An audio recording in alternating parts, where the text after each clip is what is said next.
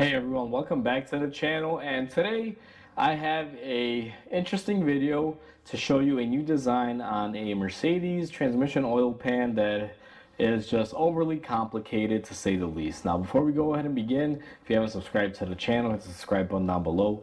Definitely smash the like button because it helps the channel out. And with that said, let's go ahead and get started on today's video.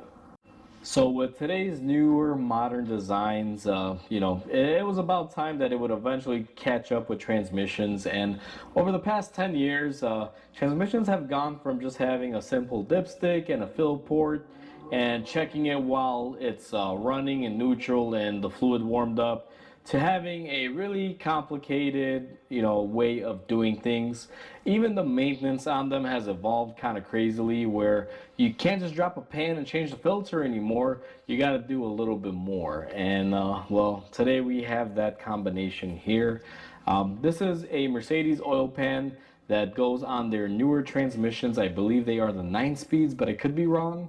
Um, I did this job a while ago and I saved the pan and I wanted to make this video, but I believe it's a 9-speed transmission. Uh, it belongs on the newer uh, class of cars. I believe this vehicle was uh, 2020 uh, or 2021 E300 model. Uh, so whatever transmission that is, I don't know the name. I should have probably checked it, but that's not what this video is about. It's about the evolving of transmissions and their systems. So I miss the old days where you just had a fill port and a dipstick and you can drop your pan, change your filter, reseal it, fill it up, and you know be on your merry way. Now this is the new style of what we have going on here and this is the oil pan of that Mercedes. We got quite a bit going on up here in the front and also uh, quite a bit going on here on the back side.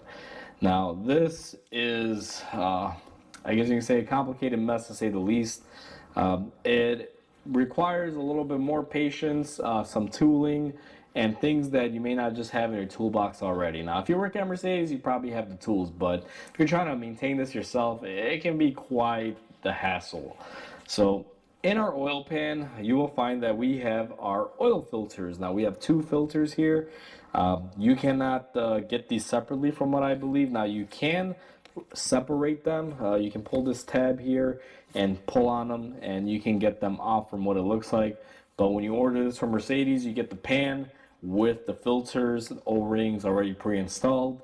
And along with the newer pan, you also get the magnets that are built into the pan.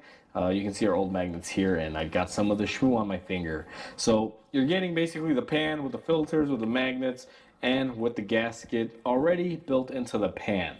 Now, typically, these two little items that are poking out here, you'll see this one and this one, uh, they will come separately, and Mercedes will sell them to you for an extra charge instead of just kind of packaging this whole thing. Um, but needless to say, uh, we have the old ones here because uh, I we were able to get a kit that had everything that we needed, and this is what was left. Uh, the only thing that is missing off this oil pan is going to be the cover that will typically be here because we didn't get a new one of those. We reused the old one.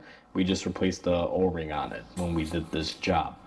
So the way that this works, and it's more than one thing. On top of integrating everything together, which some will say is a good thing, uh, some will say is a bad thing. It kind of depends on which side of the fence you want to sit in. Uh, what they've done with this is uh, they've give you one whole package. Now, I'm not against having an all-in-one package. I do think it's kind of needless to have to replace the pan uh, every single time I wish this actually was a metal pan. It's better for heat transfer because, I mean, who are we kidding? This plastic pan with these little heat sink ridges, I mean, plastic doesn't really radiate heat that well compared to metal.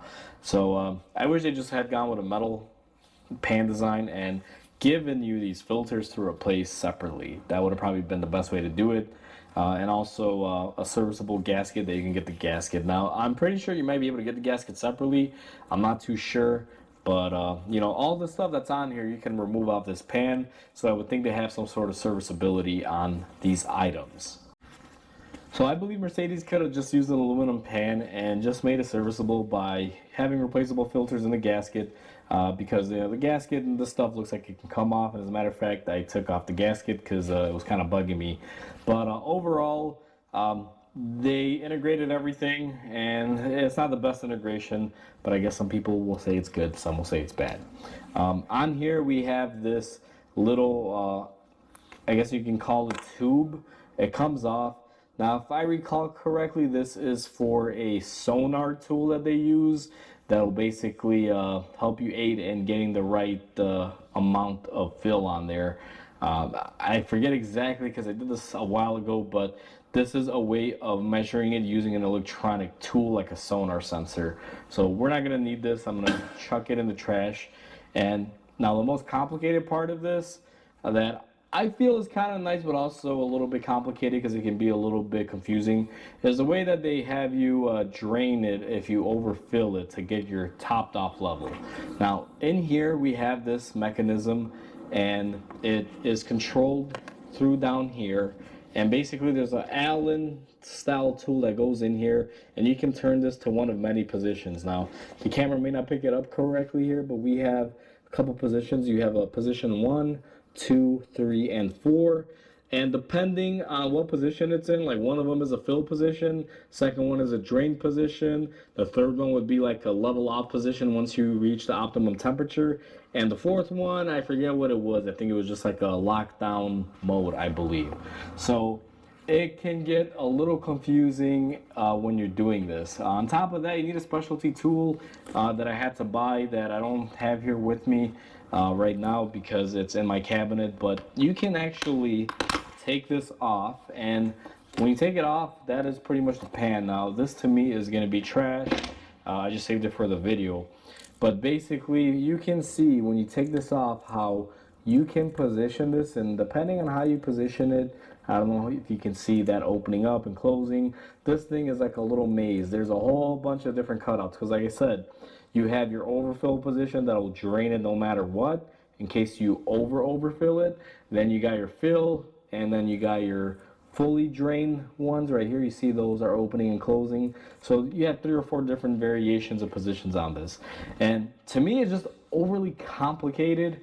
Uh, they didn't need to do this, but the complexity of this is uh, it could be discouraging. I'm not gonna say this is hard to do, but it can definitely discourage you from doing it at home. And I think that's why they do it this way because uh, even for me having a shop, once I read into this saying that you know there's a specialty tool, it's like a sonar sensor, I was ready to tell this customer, hey, you know what, just take it to Mercedes. I don't want to deal with it. Um, because we don't have that tool and I don't want to do something wrong. But after doing a little bit of research, found out that you don't need that tool. You could just uh, have that specialty tool, which is basically a really big Allen wrench that fits in here that can basically do uh, all these little settings. Um, literally, it's an Allen wrench and like a little cup configuration. You put it in there, you can switch between the positions. So you set it to position one, you let's say drain it. Position two, you fill it. If you uh, needed to do it that way. However, we drained it, we pulled our pan off, got it all out, uh, replaced the pan, and then to fill it, we put in whatever position it was. Then we warmed up the transmission, paid attention to our temperature. Then we put it in our other setting, I believe it was setting three, where it was like the top off position where it'll drain any excess amount after it's warmed up. And then after it trickles down, you just put it in the lock position, put your cap on it, and it's on its way. It's just simple as that. So basically, instead of a dipstick, they're going the traditional way of the spill method where it just trickles down and once it, you know, kind of goes down on the trickling factor, you are full. And it's actually very simple, very easy, but just the way they chose to do it to me, it adds a layer of complexity that is there to scare people. And this is one of those things that uh, it's engineered quite well, I'll give them that, but it's also anti.